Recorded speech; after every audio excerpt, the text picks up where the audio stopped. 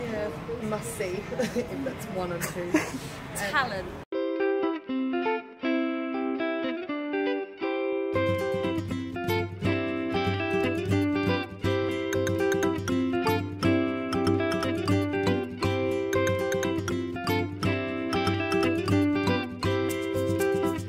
I didn't come with any expectations, didn't know anything about it, but yeah, really enjoyed it. It was funny and um, very clever.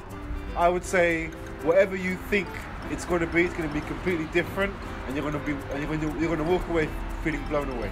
I loved it. I travelled an hour and a half, and I really ha- didn't have very high expectations, but I must say it was it obviously it hit home, it hit all the, the, the right spots. She's a brilliant actress.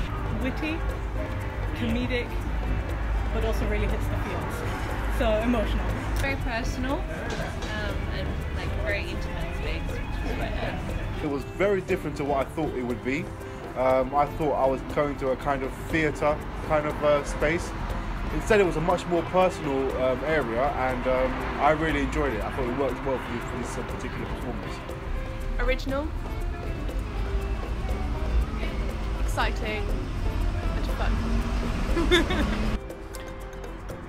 Just go, go with no expectation. Don't look up what it's about.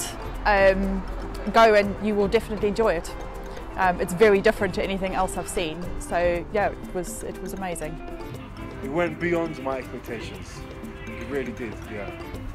It's hilarious. Go watch it. Yeah, hundred get, percent. re- get ready Like- for a ride, basically. An emotional ride. yeah. Yeah, it's good.